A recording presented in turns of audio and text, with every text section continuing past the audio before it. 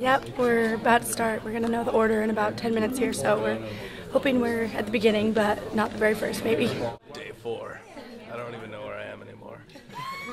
um, no, we're excited for the competition. We've been working really hard, and finally, it's our day to get everything out on the table and just put all of our hard work out into something real and see how it turns out.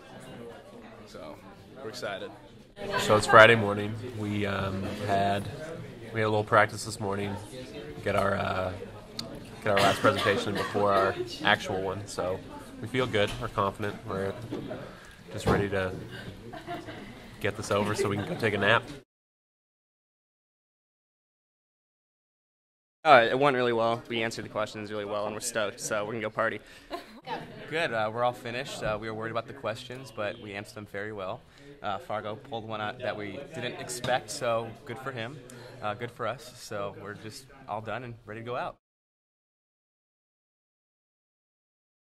And so after we just heard that basically the championship round, we're kind of for next year passing on information for USD. It's not necessarily based upon actual derived numbers.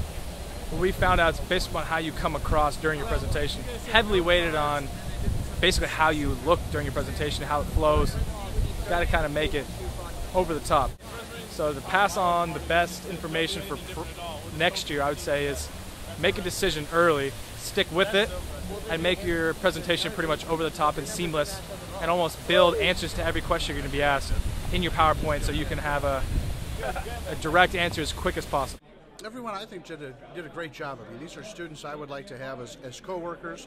I think they, their analysis is spot on. They, they were doing all the right things. This group clearly had the strategy, clearly had thought about uh, how that strategy works in with the numbers, and they spent 50 hours trying to actually crunch down with numbers.